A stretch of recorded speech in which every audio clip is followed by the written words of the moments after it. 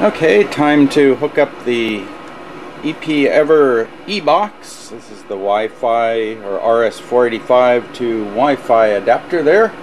So all you do is unplug your of the MT50 remote display in here. So I unplug that. There we go. And there we go. We got light on. So that's the power light. Let's go inside and we can check the uh, tablet, see if we can connect to that. Okay, so I've got connected to the Wi-Fi hotpoint, the e-box, and then you have to uh, scroll through all the help screens and it says enter now. And let's see, we'll do Wi-Fi right there, device connected. Yeah, EPEVER Wi-Fi 1.0.3 guess controller. Let's see, do you have to read? Operation. Now let's see what that says. Looks like something is here. It's probably hard to see on the camera. Let's see if we can get it tipped up there. So it's showing uh, device ID, serial number, 26.5 volts from the panels, 13.32 to the battery, and we've got 19 amps of DC load. So that looks like it's going in boost mode. Let's see. Yeah, so that looks like it works. So anyway, that is that. Now the other thing I want to do is, uh, so let me uh, see if I can find out the IP address here.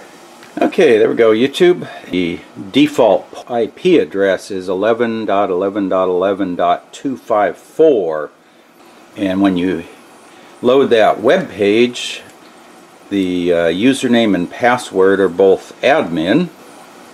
We can log in and then that brings you up a web page. So you got all your uh, settings. Unfortunately it's all in Chinese. I should try this with Chrome and see if, I don't know if the Android version has translation built in. But yeah, I think what you do, see it's it's now selected, set up as an access point. There's your IP address, MAC, there's the SSID. Yeah, so let me try a few things here. So that's your, your admin web page on the eBox Wi-Fi server. So the idea is you can then change these parameters and have that box actually join your local network rather than having to connect to the device itself. Let me try that. I want to try this with Chrome to see if that will uh, translate. I know the Windows version of Chrome does translation. I just wonder if the uh, Android version does. So let me try a few things and I'll get back to you. Okay, that did the trick. What I did was uh, fired up Chrome on Android, logged into the same web page, and let's see what happens here. Try again. I wonder if it needs an internet connection to do the translation. So I guess translating is not going to happen without an internet connection. So that was a good thing to try.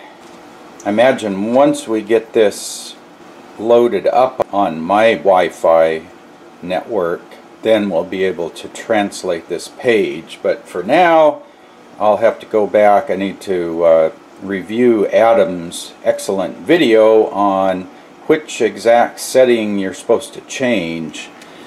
Yeah so the settings here on the side this is, I think, the second menu down. Yeah, the first one is the main screen. The second one is where you can select um, either access point, which is the default, or a station, which you join another network, or they have a mode access point plus station. And so your station settings are right here so you can uh, select which network you want to join and then there's all the uh, parameters there. And then here's your access point settings. And they do have um, security if you want to set a password to log in.